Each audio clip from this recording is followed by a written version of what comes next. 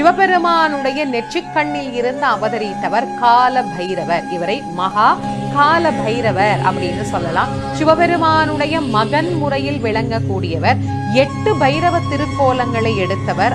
இந்த எட்டு பைரவரையும் நாம அஷ்ட பைரவர்கள் அப்படின்னு அழைக்கிறோம். இந்த எட்டு பைரவர்களும் காசியினுடைய எட்டு திக்கில் காவல் புரிந்து கொண்டிருக்கக்கூடிய காரணத்தினால்தான் காசி அப்படிங்கிற திருத்தலம் பைரவருக்கே உரிய கஷேத்திரம் பைரவ கஷேத்திரம் அப்படின்னு காசிய சொல்லலாம். ஆலயத்தை பூட்டி சாவிய அவருடைய காலடியில வச்சுட்டு போயிருவாங்க அப்பெல்லாம் இப்போ வச்சுட்டு எடுத்துட்டு போயிருவாங்க. இப்ப வச்சுட்டு போயிடுவாங்கன்னா அங்க இருக்கான்னு போய் தேடக்கூடாது இல்லையா?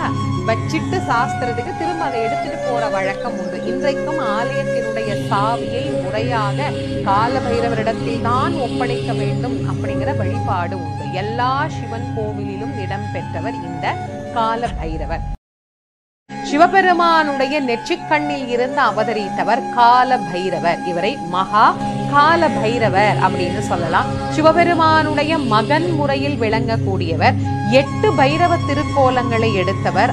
இந்த எட்டு பைரவரையும் நாம அஷ்ட பைரவர்கள் அப்படின்னு அழைக்கிறோம். இந்த எட்டு பைரவர்களும் காசியினுடைய எட்டு திக்கில் காவல் புரிந்து கொண்டிருக்கக்கூடிய காரணத்தினால்தான் காசி அப்படிங்கிற திருத்தலம் பைரவருக்கே உரிய கஷேத்திரம் பைரவ கஷேத்திரம் அப்படின்னு காசிய சொல்லலாம்.